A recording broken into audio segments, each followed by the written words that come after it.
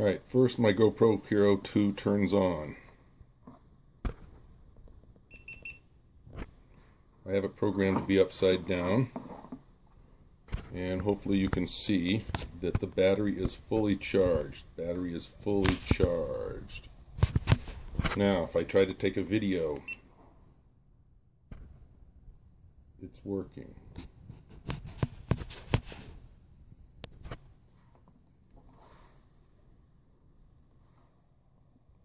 Nope, it's not working.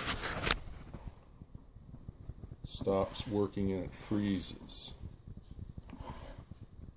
Now I go to, in fact it's frozen, it will not do anything. I'll try to shut it off. It won't shut off. I'll have to pull the battery out now. Okay, now I have taken the battery out again and I'm going to turn it on.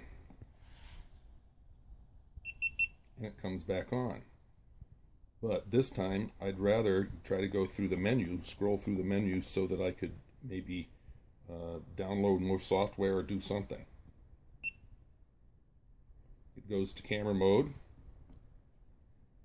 and it will not scroll through the menu it freezes now without being able allowing me to get to the tools section.